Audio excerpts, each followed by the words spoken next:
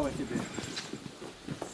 Кеп- Отче наш, сущий на небесах, да светится имя Твое, да придет царствие Твое, да будет воля Твоя, яко на небесе и на земле. Хлеб наш насущный дашь нам днесь, и остави нам долги наши, яко же и мы оставляем должником нашим, и не веди нас во искушение, но избави нас от лукавого, ибо Твое есть царство, сила и слава во веки. Аминь. Слава Отцу и Сыну и Святому Духу, и ныне и присно, и во веки веков. Аминь. Господи, помилуй, Господи, помилуй, Господи, благослови. За молитву Пречистой Матери всех святых Твоих, Господи Иисусе Христе, Сыне Божий, помилуй нас. Аминь. Боже милостью, будь мне грешному. Создав мне, Господи, помилуй меня. Бесчисла, если грешил, Господи, прости меня грешного и помилуй. Вот утро сегодня, оно, видите, необычное какое.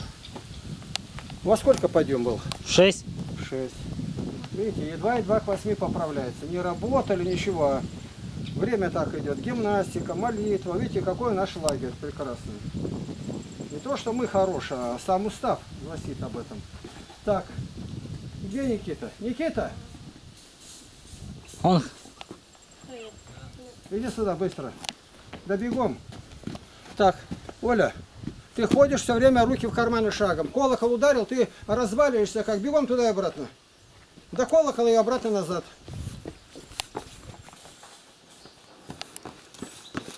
Бегать можешь. А что ты себя так поставила, что ты будто бы немощная, больная? руки из кармана. Так, как работали?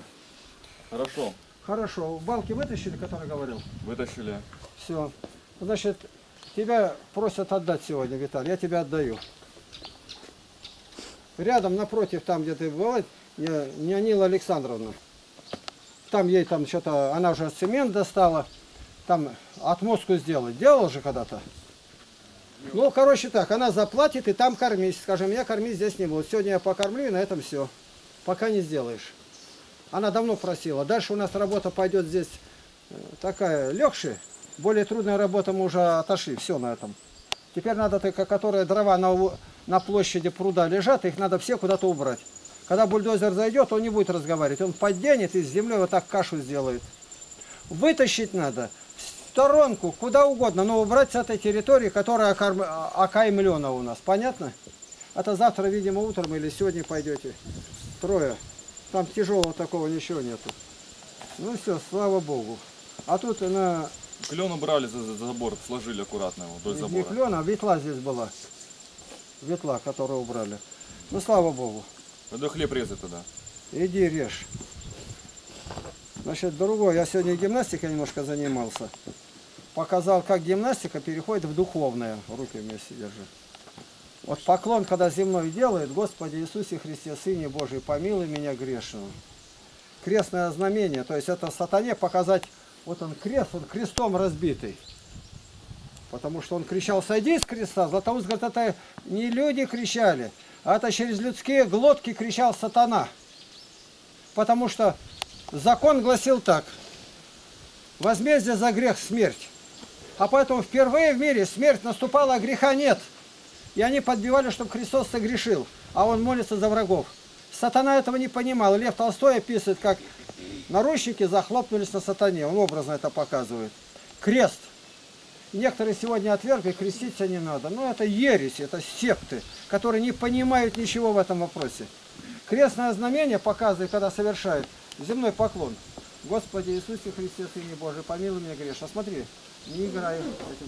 Земной поклон, смотри. Вот это место сгибается, колени сгибаются, поясница сгибается, руки все сгибаешь, ты 10 пальцев. Голова, шейный позвонок. Американец, обо- обратившийся в православие, хирург, исследовал и показал, что все до одного сочленения, полностью все, участвуют только в земном поклоне. Что непонятно? Что отвергли? Так, Егор, тебе лекарство сегодня я выпросил у Бога. Ты поехать должен другим. Тысячу поклонов каждый день. Земных. Земных. Выйди сюда. Вот так. Видишь, как делается?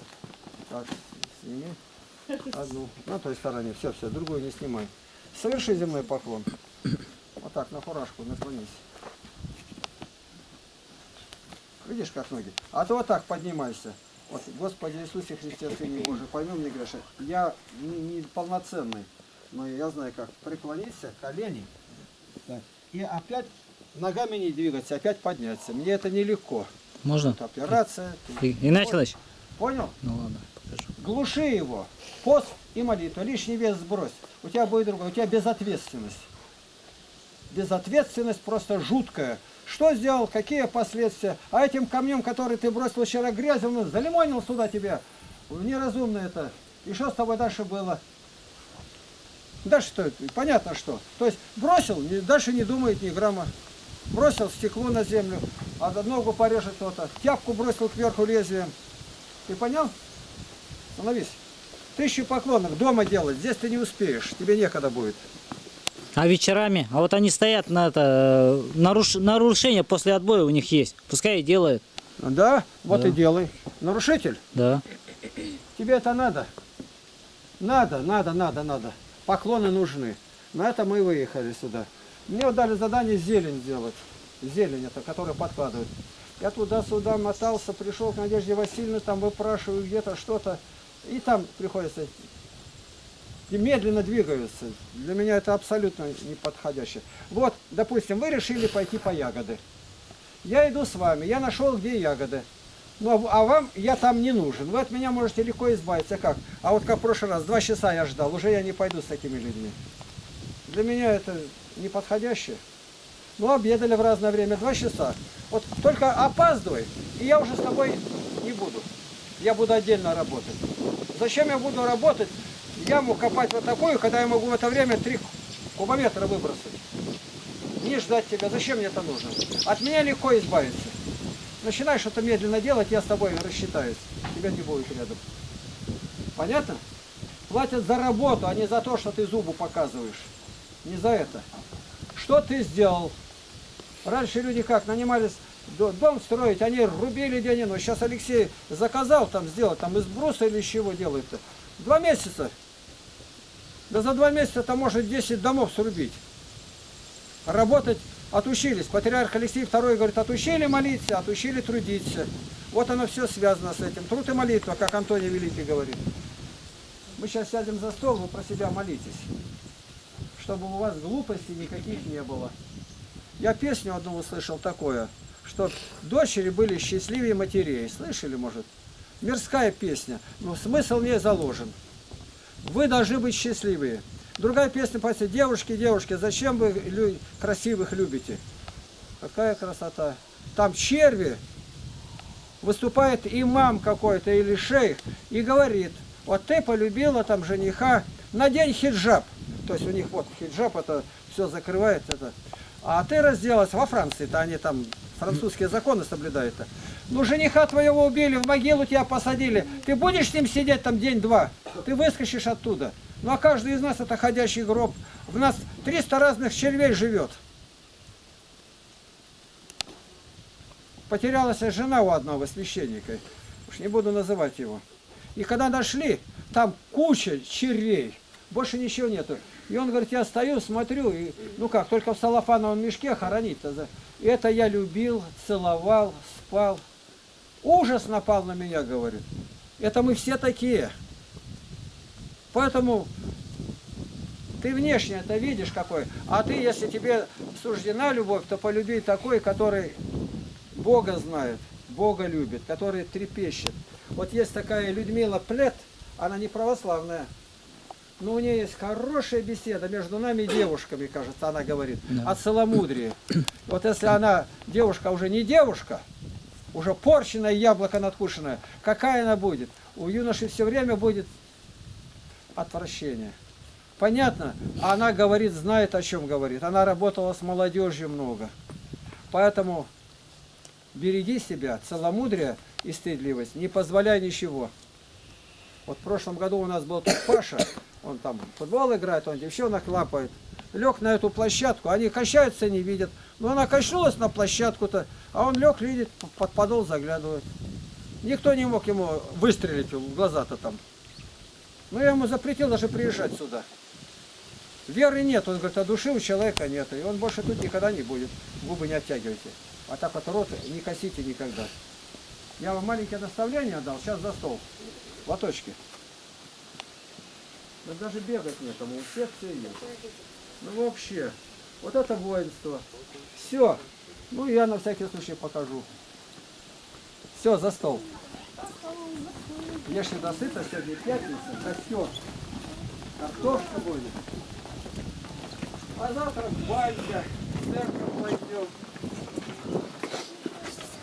У нас ребятишки, интересно, спрашивают, а батюшка будет или нет. Если батюшка, значит длинная служба будет.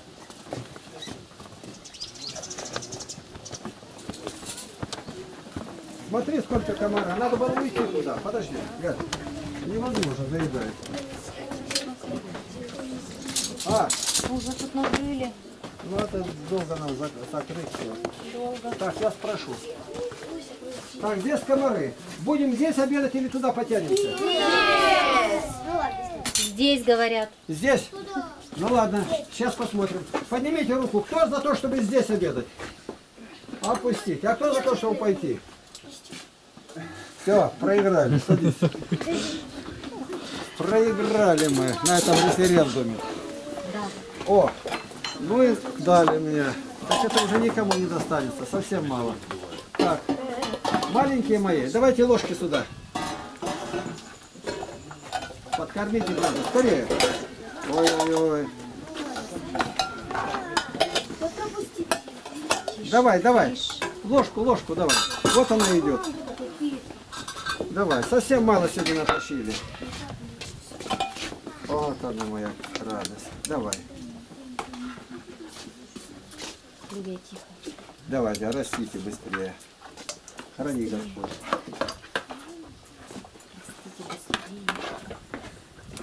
Кто тер тому? Растите, цветите, плоды Так, не приносите. забывайте, в левую руку кусочек.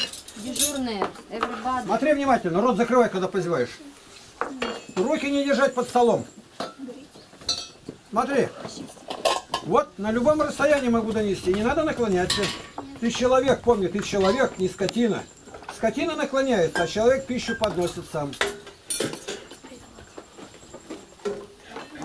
Так, сейчас ешь. Ты понял где? Напротив, красивый домик такой. И скажи, я пришел. Она вчера просила меня очень сильно. Она только делай как следует. Там Надежда Васильевна просила, что там, холодильник занести. Игнатий Тихонович. Да, ребята, поедете к Надежде Васильевне, заберите холодильники, и потом подсадини ей. Подожди. Давай.